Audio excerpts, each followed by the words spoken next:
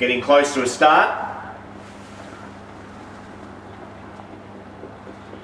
And they're ready to run. Field of four. Trial four, field of four. They're set, green light is on, and they're off and racing. Beginning quickly to lead here is Astro, and it's Astro in front leading from Cyclone LeBron into second position. Zenith strides in third, and Bundalong Moon is last of the four trotters.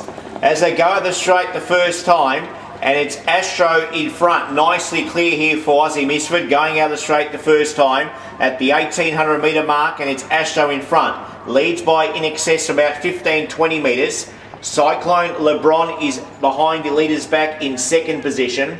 Three back on the marker pegs in third place. And now coming one off there is Zenith Stride to be into second position. So Cyclone LeBron will be now three back the marker pegs in third placing. And there's a gap of about 15 away to Bundalong Moon at the tail of field.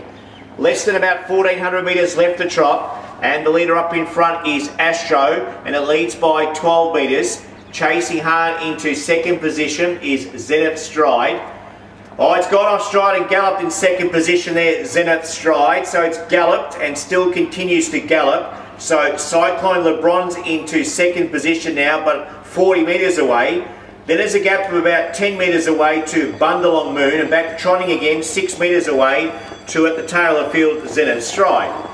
Down the straight with just over a circle left the run, and Astro, the Billy Milner prepared Aussie Misfit driven, in searching to lead all the way. It's nicely clear. Leads by in excess of 45 metres. Cyclone LeBron in second position. Zenith Strides in third. Bundalong Moon is last of the four runners on its inside.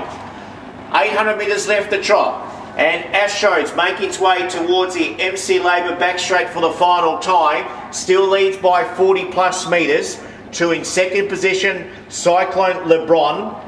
Third placing one off the marker pegs and chasing hard once again is Zenith Stride.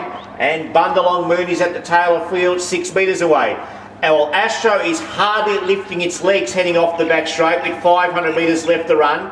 It leads still by 15 metres. Closing in there in second position is Zenith Stride.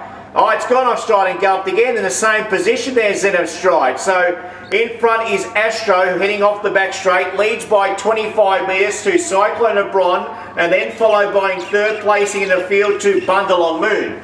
It's going to be a long 200 metres as they come into the straight. It's Astro in front, hardly lifting its leg, but still leads by 4 metres. But here is Bundalong Moon right down the outside, hitting the lead. Charging home again is Zenith Stride. It's Bundalong Moon in front from Zenith Stride, and Bundalong Moon gets up the win. Zenith Stride second, Cyclone LeBron third, and Astro got tired the last 200 metres, finished last after the running of trial number four.